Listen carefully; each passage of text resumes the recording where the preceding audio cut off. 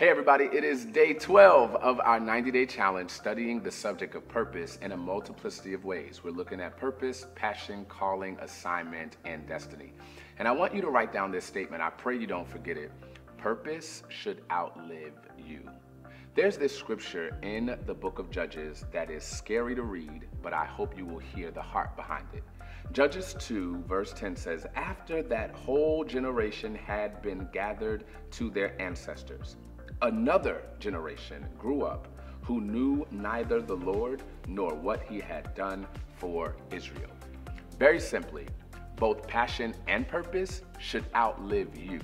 I am so nervous about the purpose driven life world in which we are contained because we have an assumption that everything begins with us and ends with us. But what about your posterity?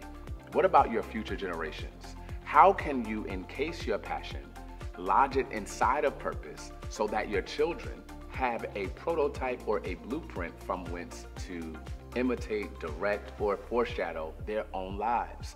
Today, I want your passion project to include people who are not even born yet. How can the future generations be blessed by what you have to give today? Because purpose is not just who you are when you are on the earth, purpose is who you are when you leave the earth.